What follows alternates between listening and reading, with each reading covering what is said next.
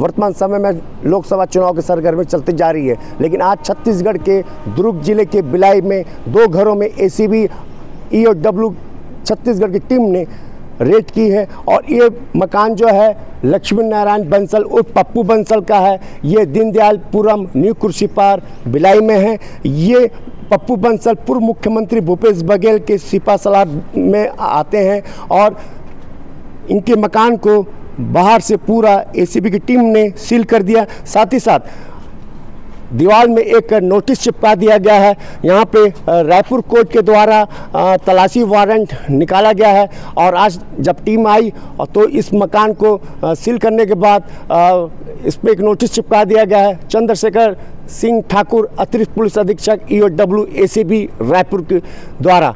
और अब इनको रायपुर ऑफ़िस में जाना पड़ेगा और अपने बयान को देना पड़ेगा। क्योंकि छत्तीसगढ़ में जब भूपेश बघेल की सरकार थी, कांग्रेस की सरकार थी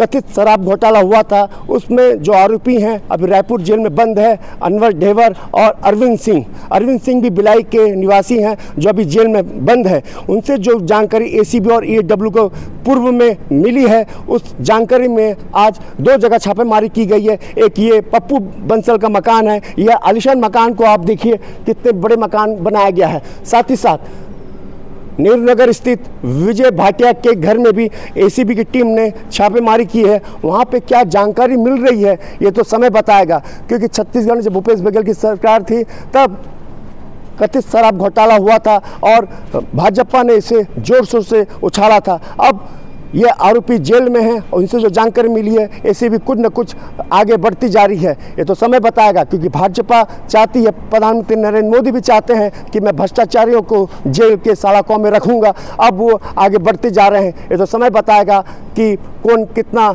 हावी हो रहा है। क्योंकि ये दो जन हैं, पप्पू बंसल और विजय भाटिया, पूर्व मुख्यमंत्री भूपेश बघेल के डायना हाथ माने जाते हैं। और आज ये ई के सेकेंड जे में आते जा रहे हैं। रघुनंदन पंडा छत्तीसगढ़ तक बिलाई